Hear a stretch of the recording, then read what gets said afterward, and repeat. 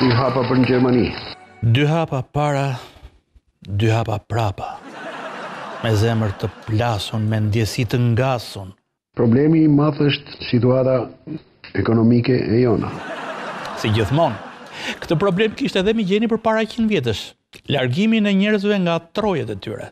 Burimet njerëzore më të kualifikuara sigurisht që e kanë më të lehtë të bëjnë emigrim të suksesshëm. Të jap plotësisht të drejtë. destinacion më të suksesshëm se sa Gjermania nuk mund të gjesh, as për ata me master shkencor, a? Besoj se tani që jeni futur politikës keni më pak kohë të lirë. Apo jo? Si e menaxhoni ju atë? E harxhoj për të studiuar historinë të njeriut në trevat shqipfolëse. Bukur. Një hobi mjaft interesant ky. Mm. Shikoj që përveç bizneseve ju pëlqen të koleksiononi dhe artefakte. Mjaft të bukura këto statujat. Po, kanë qenë katër bronze. Tani, tre ne kemi mundur t'i gjejmë, të katërtin s'e kemi gjetur. E çfarë përfaqësojnë ato, nëse mund na e thoni? Mësuesin, atë kovaçin edhe ushtarin. Mungon dhe një që Ta shikojmë se çfarë është. Demek do të jetë ose politikan ose biznesmen. Ose të dyja bashkë. Ju falenderoj për pritjen e ngrohtë. Po, tani do doja që të ngrishim dhe të spostoheshim në studio për intervistën.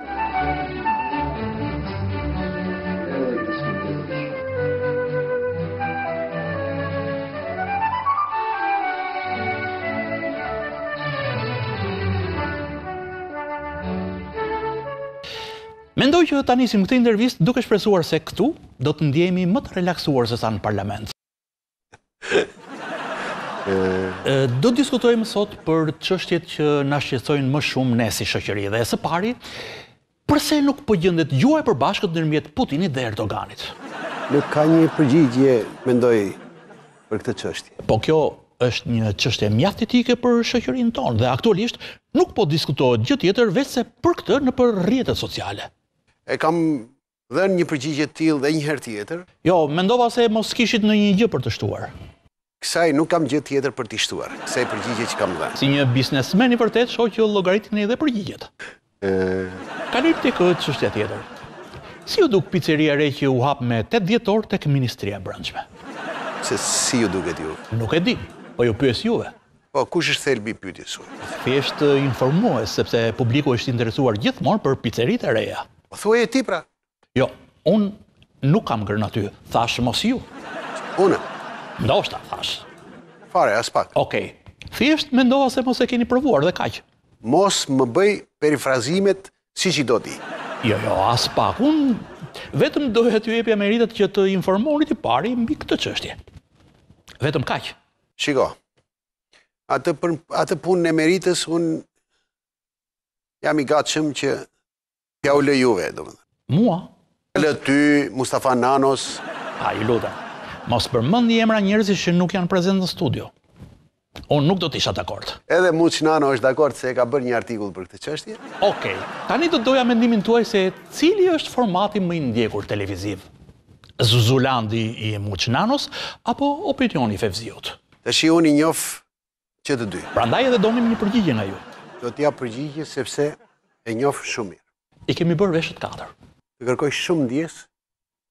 Do ta ruaj do ta ruaj këtë pyetjen tënde për një herë tjetër sepse nuk jam kompetent, nuk e njoh. Tani i njihni apo nuk i njihni se nuk po ju kuptoj. Kjo është një përgjigje mm -hmm. shumë e qartë edhe për ty, edhe për tjerë. E qartë.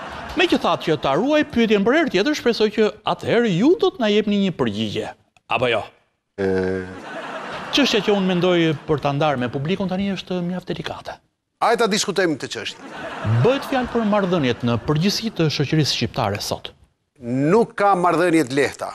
Sot, në kohën që jetojmë, s'kemi marrëdhënie të lehta as brenda shtëpisë, as me fëmijët, as me komshinjtë, as me njerëzit e tjerë, as me shoqërinë në përgjithësi. Ishit mjaft i saktë. Le të themi mjaft specifik. Të lutem, më lejo, të lutem më lejo. Ju lejoj.